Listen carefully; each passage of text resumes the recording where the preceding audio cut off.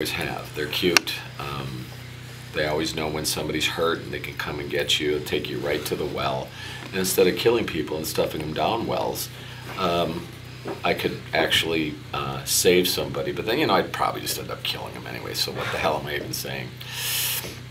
It's my HBO interview. And it was just recorded.